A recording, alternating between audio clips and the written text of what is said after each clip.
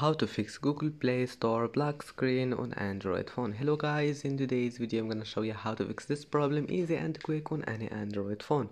First open settings and then click apps and then apps again and here type google play and click on it and as you see here we'll find storage and then click clear data click ok and now click force stop. And after that click write system settings make sure it's enabled. And then go back and go to google play services go to storage clear cache and then manage storage. And uh, clear data. And after that just restart your phone and try again and your problem must be fixed and that's it for today's video. Please don't forget to like and subscribe and see you in the next video